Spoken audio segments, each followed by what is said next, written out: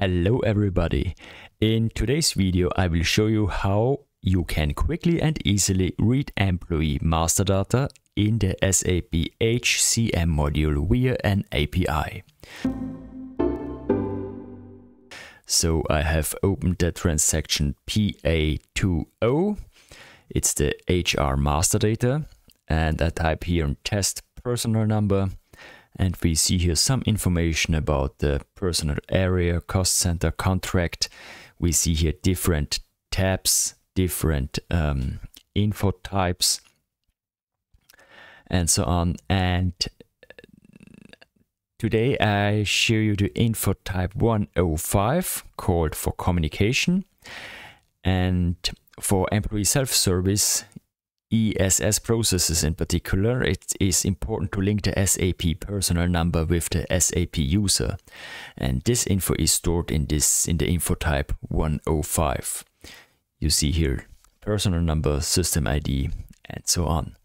And in the example program, which I have prepared here already, um, I will show you how which uh, API, which class I use to do this.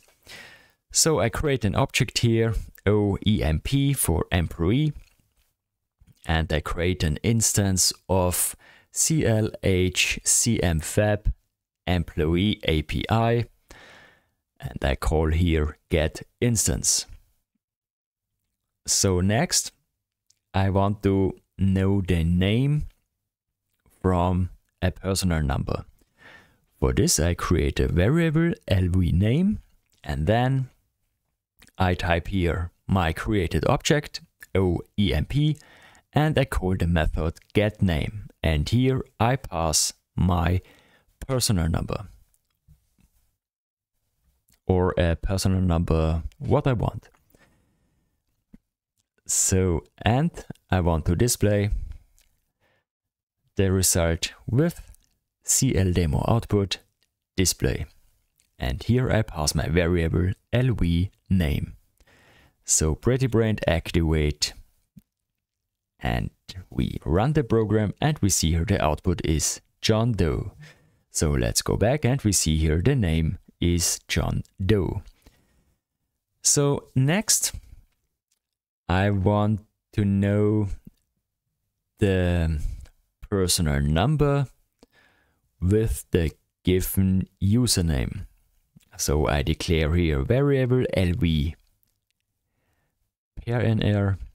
Then I call the method get employee number from user. This is my user ID, user1, and I pass here the username. Then we can display the variable lv pnr run the code and we see here the personal number. Okay, so we can uh, fetch some more data. Oh, you can pass here the CU, CU name as well if you want for the current logged user. And we can fetch here some more details about the, the user. So I declare here a structure and I call the method get get employee details. And here I have to pass two parameters. First, the personal number and second, the application ID. And for the application ID, I call here a constant. First, the interface HCMFAB constants, and then GC for global constant and application ID. And here I pick my personal data, for example. I close this. Then I activate the code, but I have to change, copy the variable to the output function. Okay, data type is not yet supported on my system. Okay, so let's set an breakpoint so I can show you the data in the debugger. Okay, double click on the structure ls details and here we see different structured information, for example, employee number, cost center, company, personal information, address, and so on. So I have hidden the information here because I'm on our development system.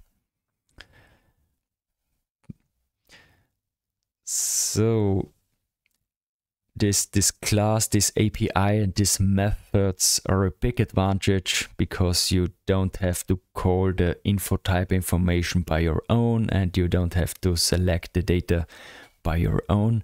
It's all uh, in this uh, class and in these methods. So yes, um, as I said before, um, for employee self-service processes in particular, it is important to link the SAP personal number with the SAP user, and this info is stored in the info type 105. Okay, so if you like my videos, subscribe to my channel and give me a thumbs up. I'm always happy to get a few likes. Also write something in the comments. I always like to read them and I also reply to them. Take care and see you in the next video.